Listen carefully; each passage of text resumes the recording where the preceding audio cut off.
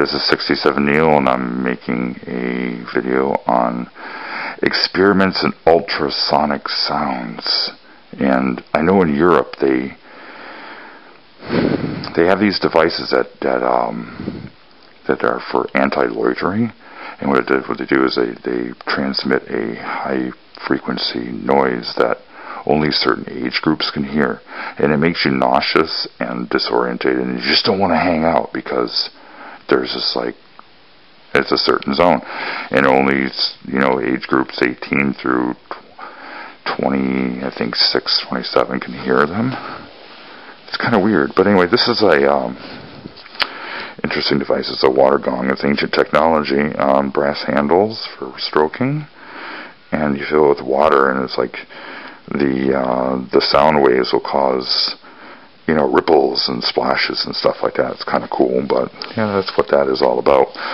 Um, so over here we have a loiterer, and I'm gonna slide this over. It's totally portable, which is awesome. You know, nothing like having something you can take everywhere because you can wear it like a hat.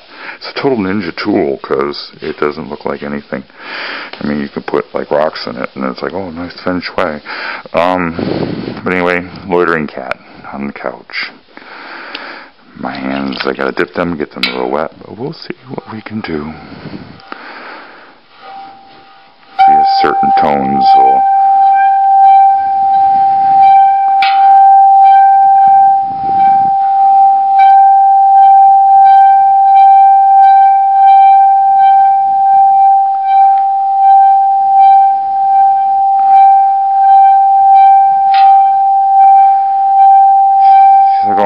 you know, I was napping.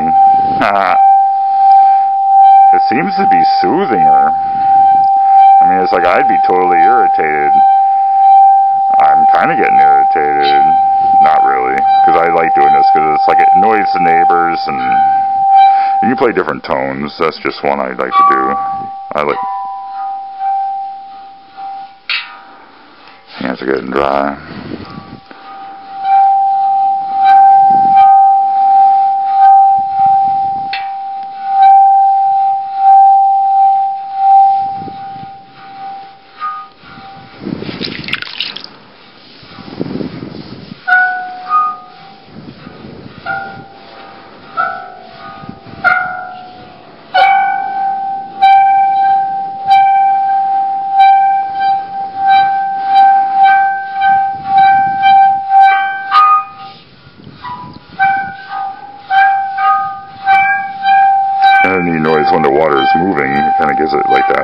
Reverberation.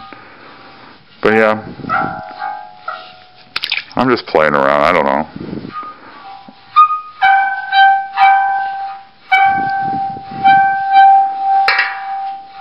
After you play it for like a really long time, it's like these different tones are coming out. It's really weird. And it's like, I don't know, it has to do with, you know, heating up the metal or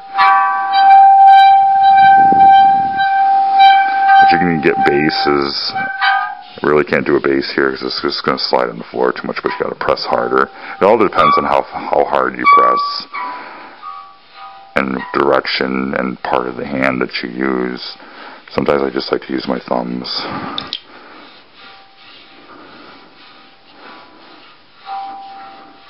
But it seems like the middle of the hand is the easiest to get tones, but you mainly get that one. I sometimes throw in a ring.